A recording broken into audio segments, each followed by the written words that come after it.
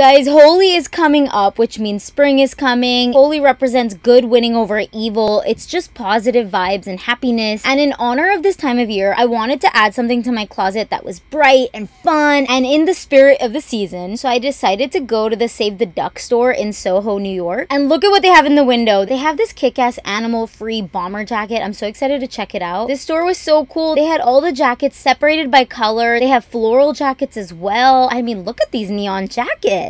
There's the bomber jacket. So many choices. What will I choose? What's cool about this brand is that they are 100% animal free. They use recycled materials and have actually managed to save over 40 million ducks and are very much about animal protection. How cute is this little duck in the middle of the store though? They have ducks all over the shop. I love the logo. Okay, time to choose a jacket. I tried on so many different ones. What's cool is that they're funky but also warm. I think I really like the lime green bomber jacket. It kind of reminds me of all these Bollywood stars I've seen wearing lime green. I decided to try on a few others just for kicks, and I decided to go with the lime green jacket. They had a little photo booth set up in the middle of the store with the duck. That was fun. And now I get to wear this kick-ass neon green bomber jacket all over New York. It's gonna keep me warm, but still be in the spirit of Holi season. I'm gonna need your help styling this thing, so keep an eye out for the next video.